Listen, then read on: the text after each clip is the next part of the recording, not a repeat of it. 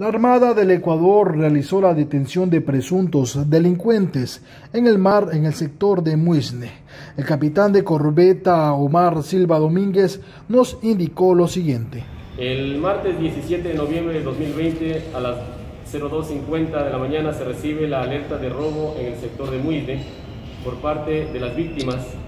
por lo que inmediatamente el personal del retén de Muisne procedió a zarpar hacia la posición indicada de los presuntos delitos encontrando una embarcación sin nombre y sin matrícula,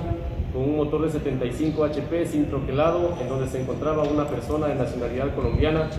y entre la evidencia en la embarcación estaba un motor de 40 HP presuntamente robado, 7 municiones de calibre 38, un sticker de motor 75 HP y también documentos de nacionalidad colombiana. Cercano a esa posición se encontraba otra embarcación con el nombre Con Dios al Mar, realizando señales de ayuda a la patrulla, indicando ser víctima de robo. Sin embargo, un pescador de Muisne que se encontraba en el área lo identificó como una de las personas que eran integrantes del grupo que les había robado. Por lo que el personal de la patrulla se acercó a la lancha y tomó procedimiento de ley correspondiente. Posteriormente fueron trasladados hacia el puerto de Esmeraldas para la entrega a las autoridades competentes. Cabe indicar que arribaron al puerto de Muisne tres embarcaciones sin motor, las cuales eh, indicaron que fueron víctimas de robo en alta mar. La Armada del Ecuador, a través de la Capitanía del Puerto de Esmeraldas y el retén naval de Muisne y su comando de guardacostas norte, desde los meses de marzo del presente año vienen trabajando en conjunto con el gobierno autónomo descentralizado del Cantón Muisne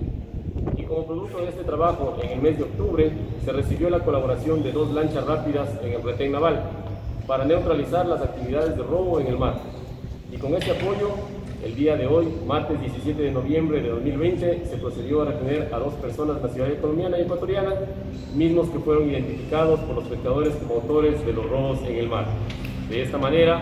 la Armada del Ecuador, a través de la Capitanía del Puerto de Esmeraldas, mantiene el compromiso de trabajo con la comunidad marítima, ejecutando operaciones de vigilancia y control para neutralizar las actividades ilícitas en el mar